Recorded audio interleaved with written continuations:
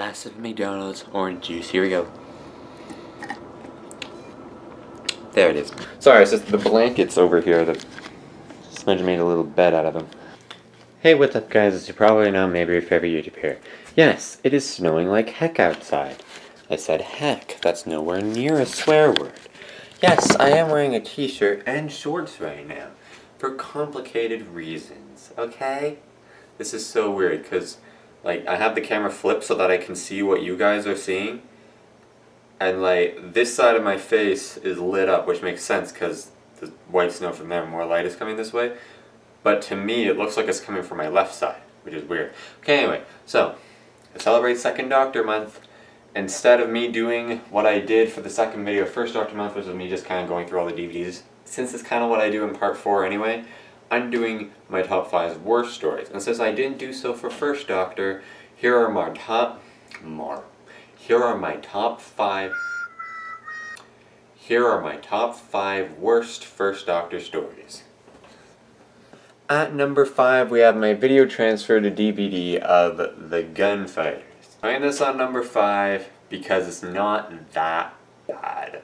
First Doctor stories are kind of pretty decent, but once you get into the bad ones, getting into the bad ones. And this is just a Doctor Who musical, and I don't like musicals, and I think I just made a slight rainbow. Hmm. Uh, I don't like it. It's just a really odd thing to watch, and I would watch it again. Just not exactly one that I jump to. And when I make the weird rainbow thing, on, like, it's making some sort of a pattern on the wall, or, or maybe, maybe my camera has to be here in order for that to happen. I'm trying to see if I can make it happen again. Yeah, like that. Can, can you see that? The, the little pattern on the wall there. At number four, we have the Sensorites. If you want, you can go check out my review of the Sensorites.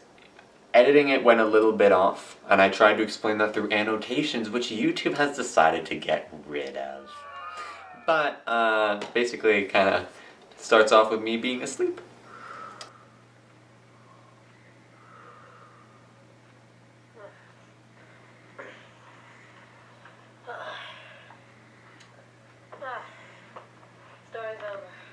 Yeah, the Sensorites, I don't know. Six parts long, far too long. It's an okay thing to watch, thank God. Could you imagine the Sensorites as its own TV show? But yeah, it's basically a six episode TV show where nothing really happens. At number three, we have my video transfer DVDs of The Web Planet. For obvious reasons, the costumes are ridiculous I mean, I said this multiple times. In the 70s they had bad special effects, in the 60s they just had no special effects. That scene where they're just going, Zarbi! And in fact, this is the only First Doctor story where in my review I didn't watch it. Like, in my reviews from An Unearthly Child right through to the, um, the Romans, I basically did a detailed plot summary I wasn't really very much reacting to it, and the only scenes that I really showed were cliffhangers and other scenes. Uh, for the Crusades, up until uh, Galaxy 4 Mission to the Unknown, I watched the story first and then filmed a quick, like, 20 minute or so review of it. Then I moved on to reactions around the Mission to the Unknown of the Mythmakers. This one, though, I was considering for a moment just doing my reviews from just saying what I remember, which was a bad idea because there's a lot of episodes that I just don't remember or I haven't seen yet. So I think showing my reaction is kind of cool. But the Web Planet, I didn't even bother watching it for my review. I literally just said it from my memory. Another reason why this story sucks is that I almost have one, uh, my beginning releases upstairs. So that'd be one, and then two, three, four, five, six, seven, eight, nine DVDs in a row. But nope, the Web Planet comes in screws it up on the very last DVD too. Because it goes right here. I said right here. It goes freaking right here. Look, mates, I'm not asking very much. I'm literally asking for you to just, there we go. Oh, my goodness. Oh, uh, on a little bit of an angle there. And number two, we have my reconstruction of the smugglers. It's just boring. It's a historical. I didn't even understand what happened with it even after my review. Honorable mentions include pretty much every historical except the Romans, because I just find them boring. And at number one, we have the Massacre of St. Bartholomew's Eve. I was considering putting the smugglers at number one for a moment, but this just really put me to sleep, and I just don't understand what's happening. And it's missing and all that. And literally nothing survives except for crappy audio soundtrack with no telesnaps or clips or nothing. Maybe they'll animate it, but I don't think they will because it's not exactly a well-known one. Can you imagine once the BBC has animated all the missing episodes, like the good ones, like they've animated like uh, all those, and then all of a sudden they they're resorting to animating the ones that no one has heard about. Can you imagine them advertising the massacre of St. Bartholomew? That might work, but just imagine when they try to advertise them animating the smugglers. So that was my top five worst first Doctor stories. Here are my five. Here are my top five worst second Doctor stories. I should stand in the middle. Sorry, it's just the blankets over here that Smudge made a little bed out of them. At number five, listen. I actually struggled for a few minutes trying to find which are my top five worst because I was going through and I'm like, okay, the Power of the Daleks is not. Uh, Highlanders maybe. Uh, Underwater Menace. Mm. Moonbase I liked. Macra Terror I liked. Faceless Ones I liked. Evil of the Daleks I liked.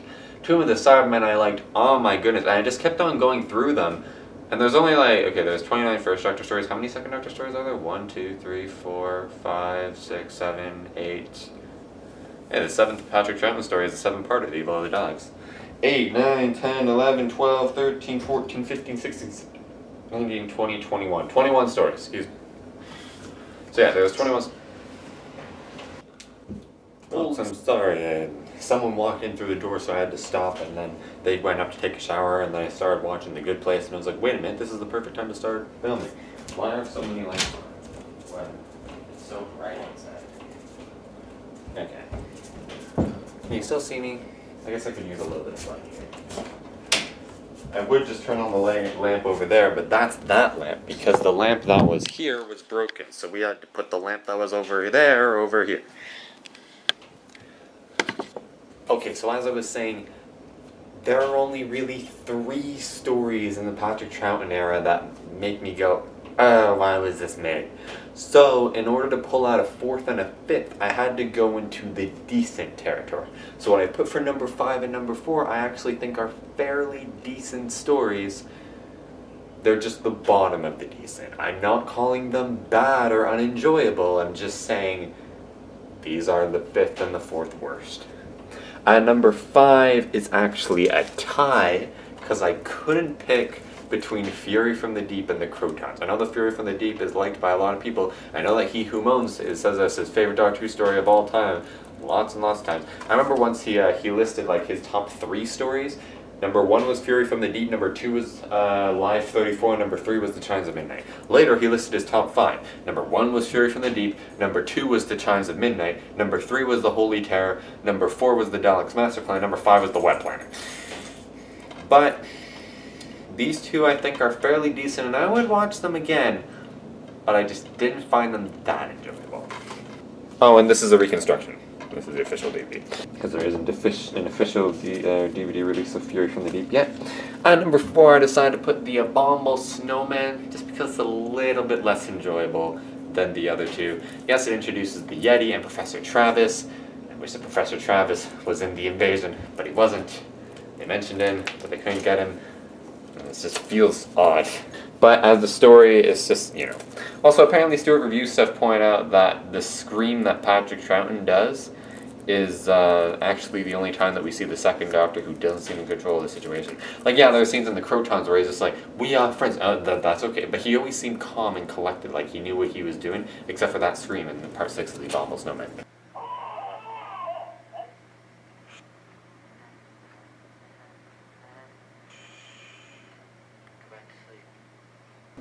At number three, we have The Underwater Menace, just because, you know, it was creative, they tried something, but still, why was this made? And also, the reconstruction is crap. Go watch my review where I talk more about why this reconstruction was crap. So they just literally took telesnaps and just stuck them in where they're supposed to be without any editing at all.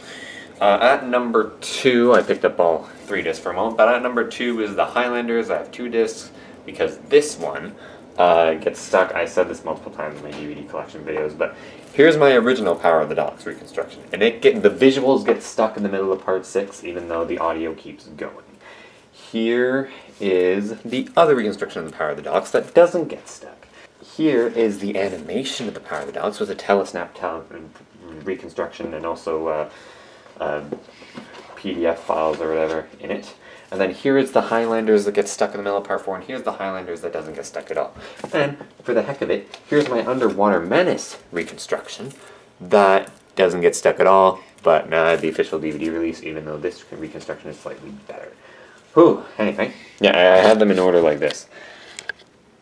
Stuck Power of the Daleks reconstruction, uh, Stuck Highlanders reconstruction, official Power of the Daleks release, regular Power of the Daleks re- reconstruction, regular Highlanders reconstruction, and then Underwater Mass. Regular Highlanders reconstruction, and then Underwater Mass reconstruction, and Underwater Mass official DVD release. And Underwater Mass. The Highlanders is just boring. I don't really know what to tell you. But number one, I'm pretty sure we can all guess it if I said that I had to reach into fairly decent, and we all know this isn't better than the Crotons Fury from the Deeper League Bomb Snowman. The Space Pirates. Really boring. I fell asleep in the middle of it. I literally couldn't pay attention to it. When I was starting my review, I was thinking, oh, okay, I'm finally gonna understand the, what's going on in this story. And then I came out of the story and I was like, that was six episodes and I feel like I still don't know anything about what happens in it. I think the only piece of information that I gained from this that I didn't know from it before is that part three ends with the Doctor and his companions falling into a hole, and I only remember that because Stuart Review stuff listed that as one of the best cliffhangers in Doctor Who of all time. Don't ask me why. Oh, see, also, you also got five nice DVDs in a row. The Invasion, The Crotons, The Seed of Death, The War Games, and The Patrick Troughton Lost in Time, and this guy comes in. Anyway, those are my top five worst first Doctor and second Doctor stories. Do you agree with me? Do you disagree with me? Let me know in the comments down below what your worst stories are more best stories are, and go check out my channel. Thank you all for watching the video. If you enjoyed, if you did, please like. So I enjoy. If you didn't, please leave a dislike. So you did enjoy it, leave a comment below if you want to talk about it because it's lots of guest motivation, encouragement. If you didn't like it, please leave a comment below saying why you didn't like to improve next time. Otherwise, we won't be able to improve. Just gonna treat your dislikes as for a like and subscribe so you know when my next video comes out. Thanks again for watching, and as always, I will see you next time. Bye bye.